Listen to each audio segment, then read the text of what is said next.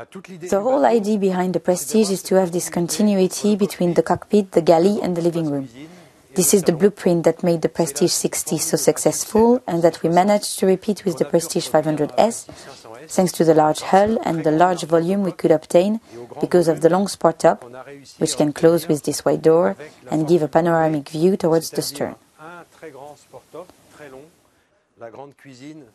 Here we can see the large fully equipped galley and the spacious living room.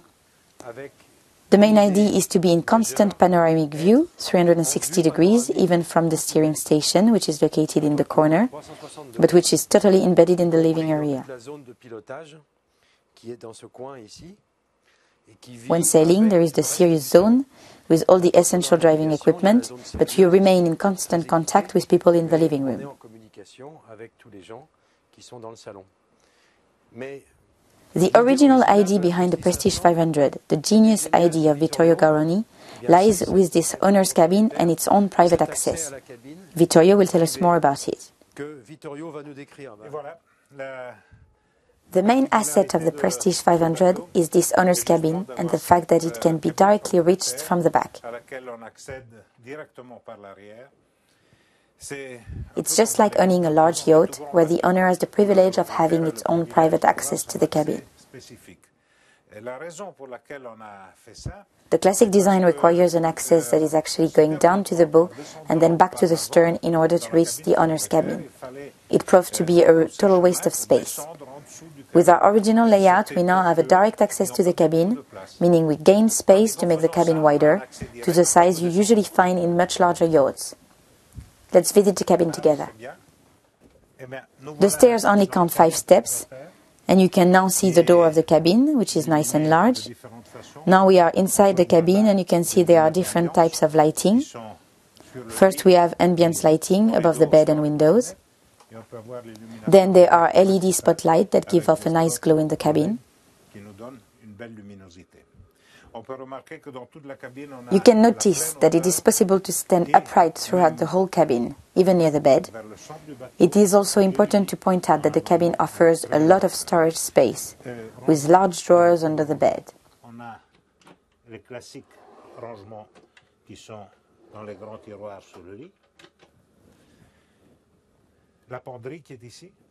The large cupboard also offers lots of storage. Here you can see the bedside tables and their drawers.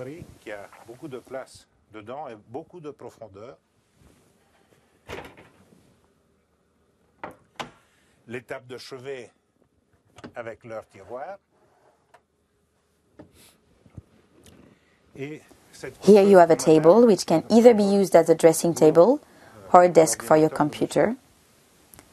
The flat screen TV is ideally placed at the end of the bed, and we also have more storage over here.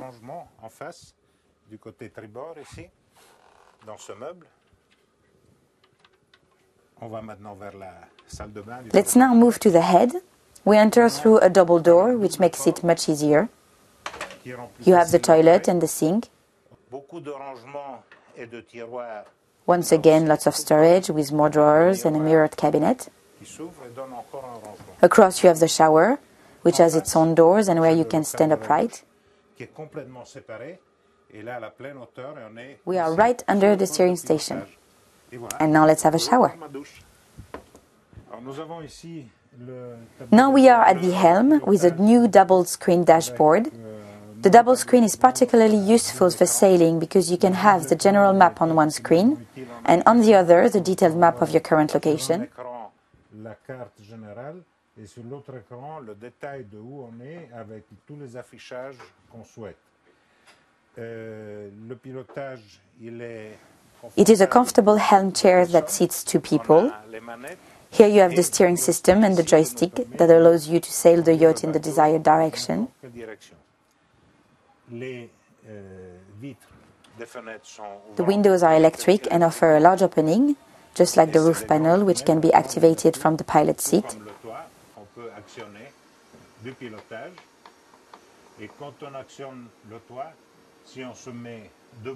If you open the hardtop, you can easily steer the boat in a standing position, overlooking directly outside. Sans se gêner, on a toute la place. Nous avons Here you also have another TV which can be released by pressing this button here. You can see the TV stands automatically.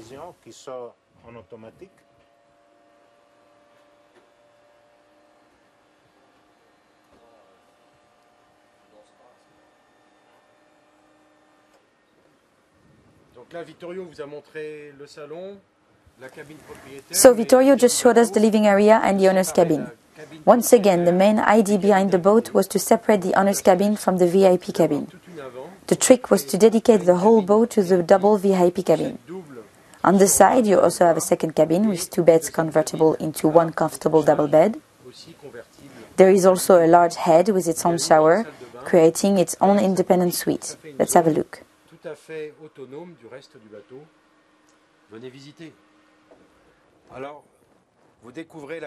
Now we can discover the VIP cabin. The originality of this cabin lies in its different possible configurations. You can put the bed on the side to gain space on starboard side to access the bathroom.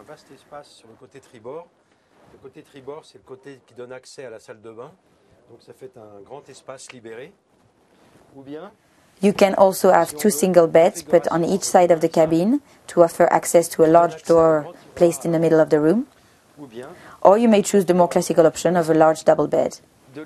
Please appreciate the volume of the bow cabin created thanks to the size of the hull.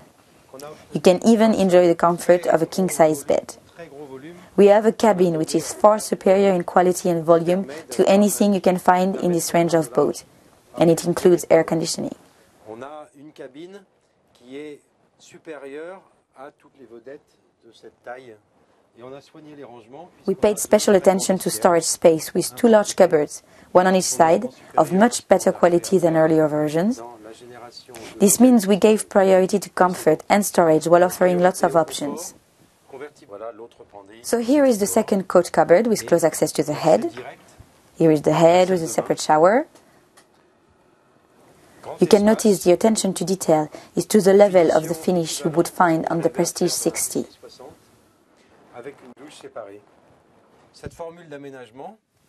This choice of layout with two bow cabins and a large head allows first for a large VIP cabin and second for space for a large third cabin.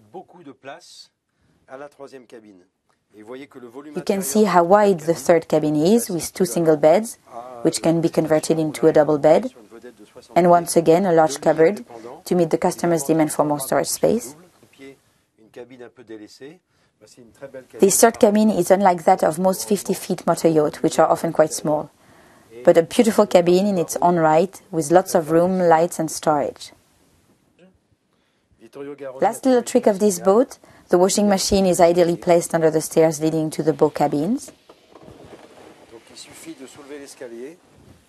You simply have to lift the stairs to have access to the combined washer dryer. Sound wise, the washing machine is placed as far away as possible from either main cabin, once again for added comfort.